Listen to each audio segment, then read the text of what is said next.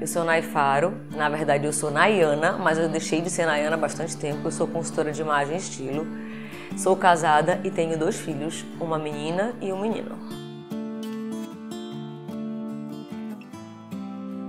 Em geral, eu cuido da minha saúde, na verdade, diariamente. A minha saúde não é aquela que eu vivo no médico toda hora. A minha saúde é todo dia. O que é o meu cuidado diário? É da alimentação. E não é algo recente, é algo com bastante tempo. Eu ainda estava, acho que entrando na faculdade, já tinha essa pegada da alimentação. Mas faço um acompanhamento médico de pelo menos uma vez no semestre, quando estou assim muito relapsa, uma vez ao ano. Faço aqueles exames realmente com um check-up bem profundo, mas o dia a dia é o que eu digo, era, acho que a minha saúde é todo dia. E também pratico atividade física há muitos anos, porque preciso. Então eu considero isso realmente um cuidado de saúde. Pensando mais especificamente sobre saúde feminina, a minha gineco ela é também mastologista, que para mim eu acho que é um facilitador. E a gente faz um acompanhamento. Eu ainda não tenho 40 anos, mas eu faço acompanhamento com ultrassonografia.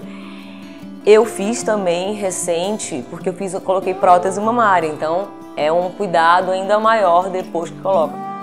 E eu faço acompanhamento também semestral. Acho incrível como, com o passar dos anos, é, o outubro, o outubro rosa virou algo com uma potência de ajuda da comunidade da, do clã feminino muito maior. A minha filha já vai saber muito mais o que fazer desde sempre do que, do que eu aprendi. Né? E eu, eu também acho que hoje o Outubro Rosa ele conscientiza inclusive os homens mas eu tenho certeza que isso trouxe uma, uma clareza do, da necessidade do cuidado com as mamas em relação ao câncer muito maior. Eu acho que é uma campanha maravilhosa que a gente vem cada vez mais fortalecendo esse cuidado mútuo das mulheres.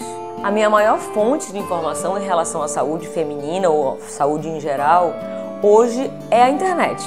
Né? Eu sigo médicos especialistas que, graças a Deus, a internet facilitou, principalmente o Instagram, facilitou em que os médicos fazem assim bastante conteúdo super interessante com caixa de perguntas e eu também sigo a minha própria médica no Instagram e sempre fazem posts muito interessantes, né? Eu não só busco, obviamente, no Instagram, mas eu acompanho é, algumas matérias científicas, principalmente quando tem algum assunto muito enfoque. A minha principal mensagem no, nessa campanha de Outubro Rosa, primeiro a gente tem que estar bem.